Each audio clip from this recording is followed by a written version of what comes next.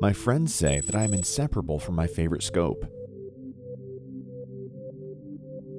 It's true, we've been hunting together for years. But the night hunt was always a challenge, until I got the Forward DFA 75 from Pulsar. All I need to make my scope working at night is to attach a ring, and the NV part clips on and off in a matter of seconds. Mine has a 60mm lens. Pulsar DFA works with many apertures. Just pick the right adapter and select the correct insert. There are choices for most scopes available.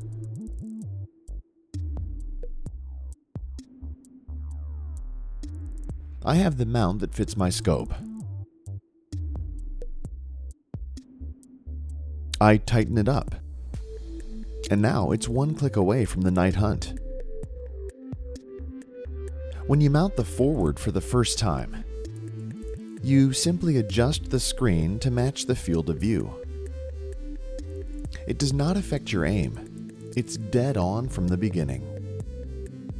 During recoil, the scope can shake vertically or horizontally. The image and my zero will not be affected. Here's the system making my lucky scope work at night. A combination of the high sensitivity CCD array, fast aperture lens, invisible laser IR illuminator, and advanced electronics.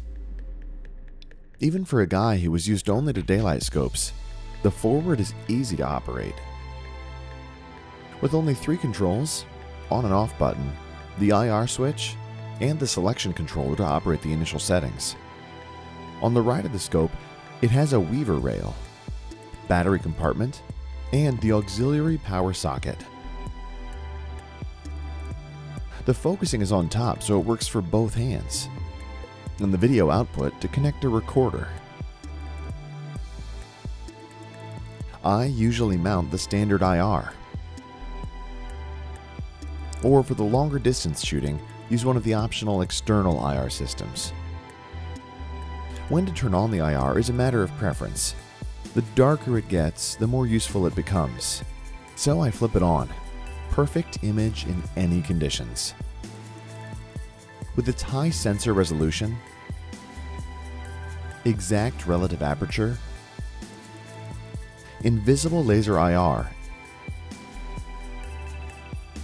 and its long range,